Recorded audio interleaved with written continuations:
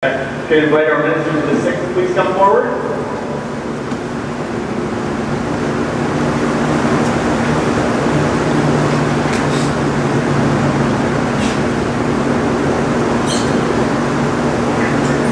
And I'd like to invite the rest of us to please extend our hands.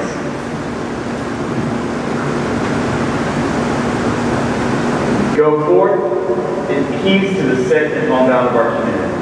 Bring them, bring them the word of life and the body of Christ, the assurance of our love and concern. By your presence and the holy gifts you share, remind them of the unity that is ours in the Holy Trinity, who has made us one family, in one faith, in one baptism. The church say, Amen.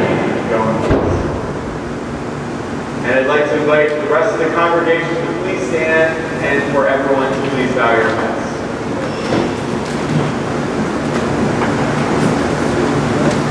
May God bless you with every heavenly blessing. May we always be holy and pure in His sight.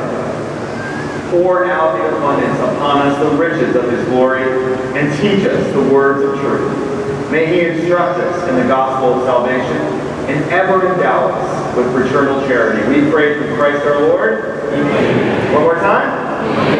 May the blessing of Almighty God, the Father, the Son, and the Holy Spirit come down upon us and remain with us forever. This celebration is ended. The Mass of our lives continues. Let us go forth with the gospel with our lives.